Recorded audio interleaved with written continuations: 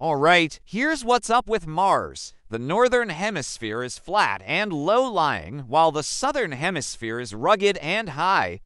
And scientists don't really know why. There are a lot of theories, but no one knows for sure. It could be that long ago there was a huge impact that created the giant Olympus Mons volcano in the north. But if you look closely at the topography map, you'll notice something weird. The mountains in the south are much more numerous and they re much taller than the ones in the north. And if you look at it from above, like this, it looks like a giant crack in the planet's surface. So scientists think that maybe, just maybe, Mars used to be two separate pieces that smashed into each other, and then over time, they kind of merged together.